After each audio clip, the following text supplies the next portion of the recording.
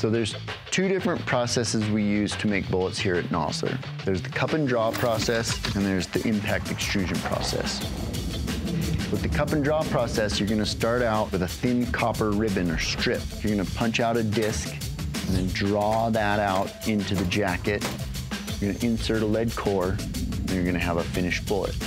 The advantage of this process is very efficient. Raw materials go in, finished bullets come out. The disadvantage is you can't make the jacket any thicker than the material that you start out with. But for a hunting bullet, you're gonna wanna use the impact extrusion process. Start out with this solid copper wire to make the jackets of the bullet. End up with a slug, and that's what we're gonna use to make the jacket of the bullet. As that punch forces that slug, and ultimately the jacket, that soft piece of copper has no choice but to conform to the shape of the punch in the die. The finish press is then gonna insert the lead core, we're gonna form the nose of the bullet, we're gonna insert a tip, and then have a finished bullet.